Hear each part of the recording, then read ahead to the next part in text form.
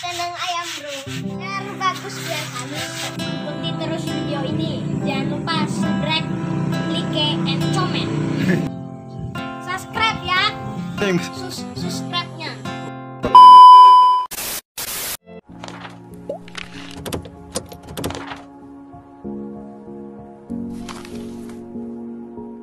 Assalamualaikum warahmatullahi wabarakatuh. Kawan-kawan satu hobi. Eh, kali ini kita membuat kandang ayam dua pintu dengan ukuran 120 cm dibagi dua. Menggunakan kayu bekas spretan mebel. Sayang sekali tadi kameranya mati jadi nggak ambil pas lagi membuat rangkaian. Membuat rangkaiannya maksudnya ikuti terus video ini sampai habis. Bagaimana model kandang yang akan saya buat? Ini kita lagi sedang membuat pintu kandang dengan teknik pintu kandang tanpa engsel. Pernah saya buatkan videonya bagaimana cara membuat pintu kandang tanpa engsel. Tapi waktu itu kita buat dari bambu. Dan ini dari kayu sama aja tekniknya caranya sama saja buat engsel dan kuncinya.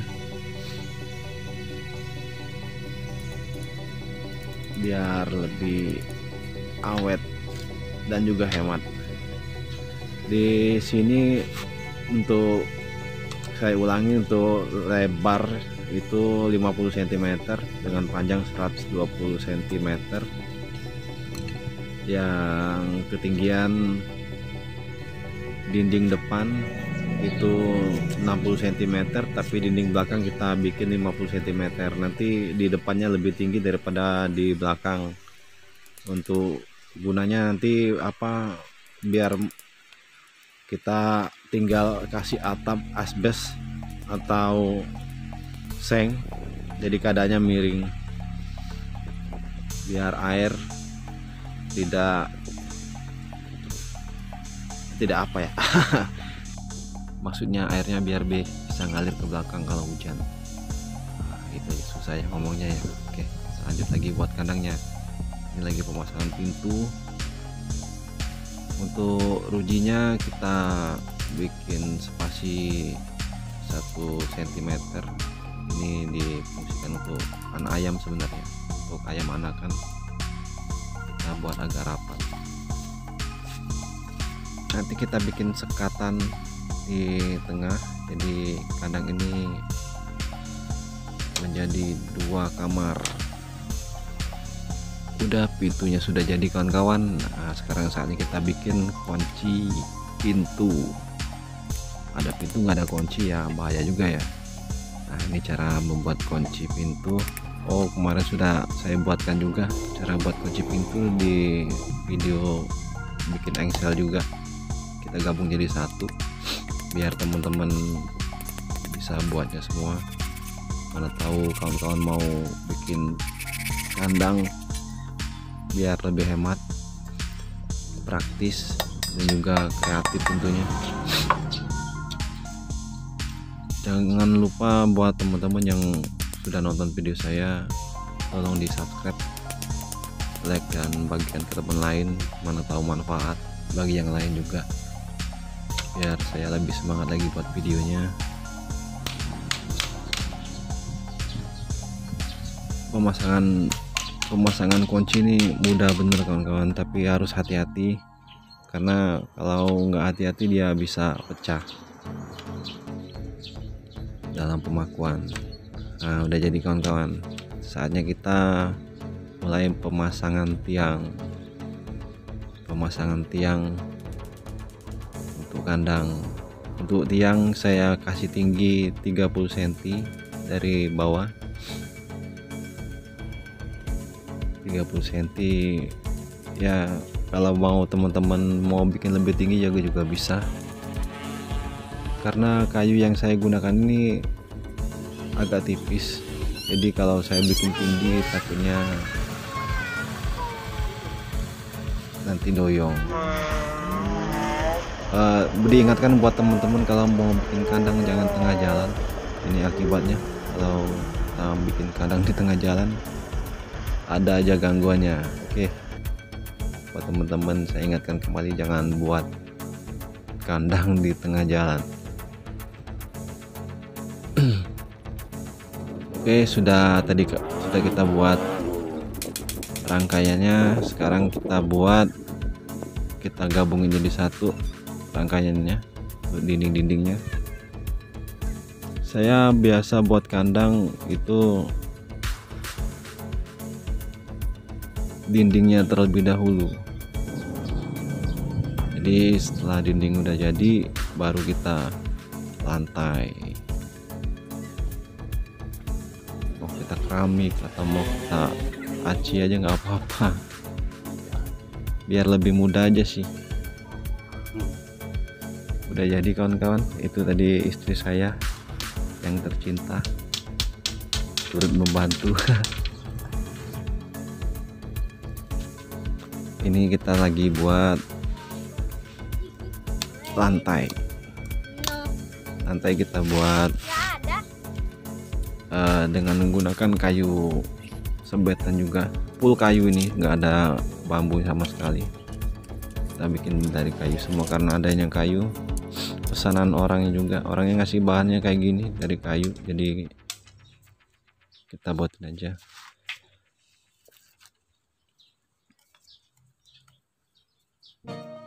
Masih kita bikin satu senti spasinya biar uh, kotorannya bisa lolos ke bawah. Terus ayamnya juga tidak terjepit.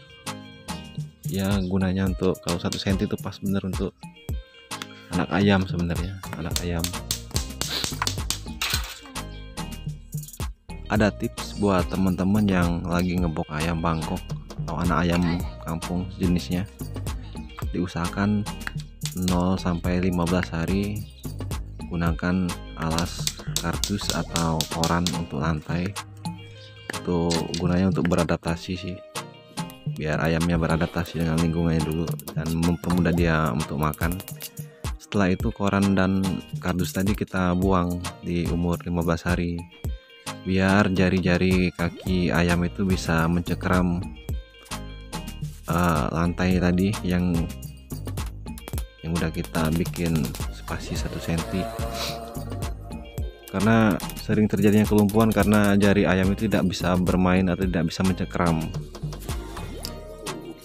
Terutama ayam bangkok yang sering benar kelumpuhan karena terlalu lama menggunakan lantai alas koran atau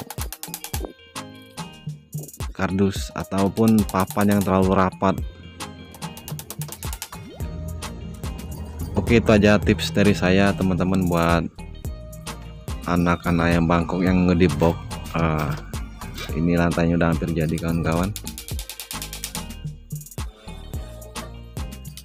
Jadi lantainya tadi kita tinggal bentuk di luar kemudian kita pasang. Sangat mudah sekali. Teman-teman pasti bisa ngelakuinnya membuatnya.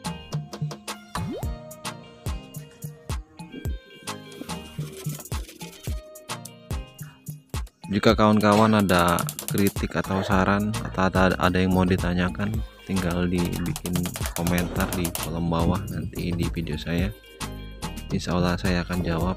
Karena kritik saran dan komentar kawan-kawan adalah sangat membantu bagi saya agar membuat channel ini lebih baik lagi ke depannya.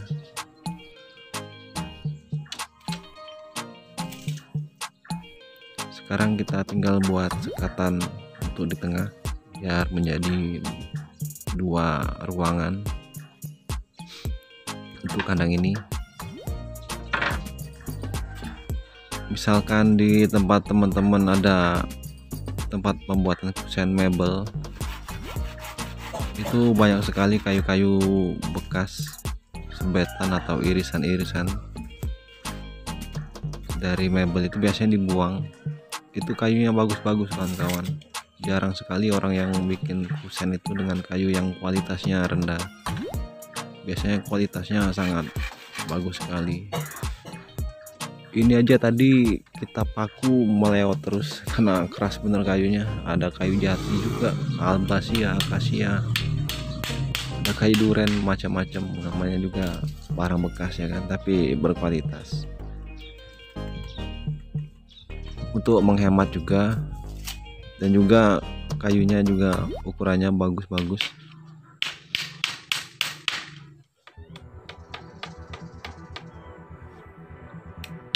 buat katanya mudah sekali tinggal kita ukur ukur porosnya sesuai dengan volumenya. Jadi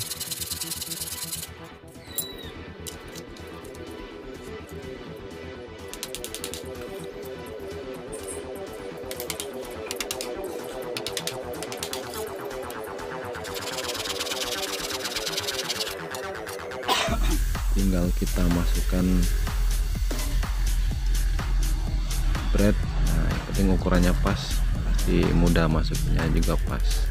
Tinggal kita paku pojok-pojoknya jadi dia kuat. Sengaja untuk bagian atas atau atap tidak saya pasang karena konsumen yang mesan kandang ini udah punya atap sendiri asbes atap itu. Nanti katanya akan dipaku sendiri sama dia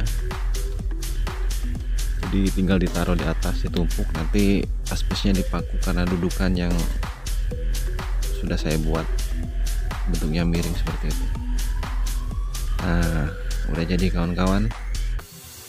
Uh, semoga video ini bermanfaat bagi kawan-kawan yang mau buat kandang dengan bahan dan bentuk. Semoga terinspirasi. Jangan lupa subscribe dan komennya biar channel ini semakin berkembang.